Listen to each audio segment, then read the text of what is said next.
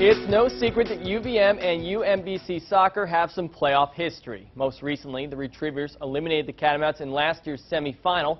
This year, we had the same two teams in the same round of America East play, only this time, the game would take place under the lights of Virtue Field.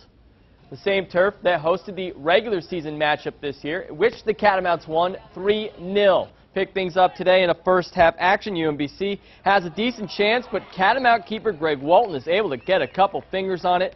No goal. In the second half, Cats get a good look on a nice feed from Stefan Lamanna to Brian Wright.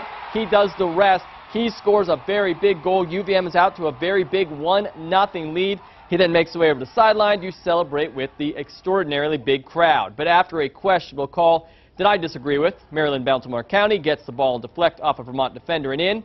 We're tied 1-1. From there, it was all Catamounts, only without a goal, right? Feeds to Bernard Yeboah.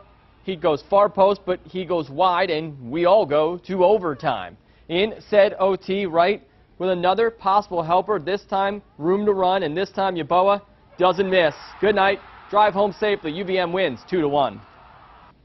As soon as I saw Brian pass me the ball, I just I just took off. And anything I got on it, hopefully it went in.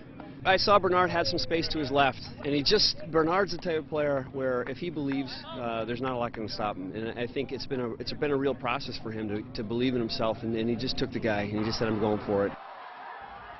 And it was going for it that gets the Cats into the Americas Championship game, which they will host following a Binghamton win tonight. The two teams will play for it all on Sunday afternoon.